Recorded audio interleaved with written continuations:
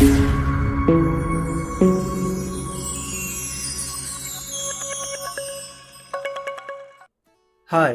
welcome to Microservices Lab. In this course, we are going to implement a GraphQL server with the help of Spring Boot.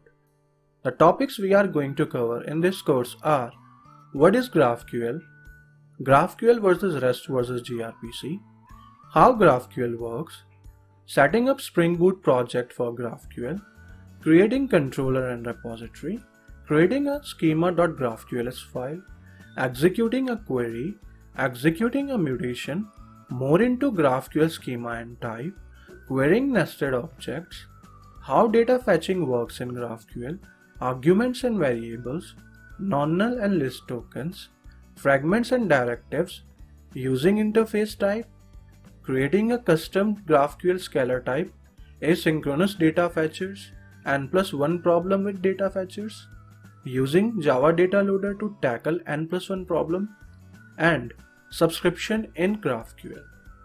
So there's a lot of ground to cover, so stay tuned and subscribe to my channel. Thank you.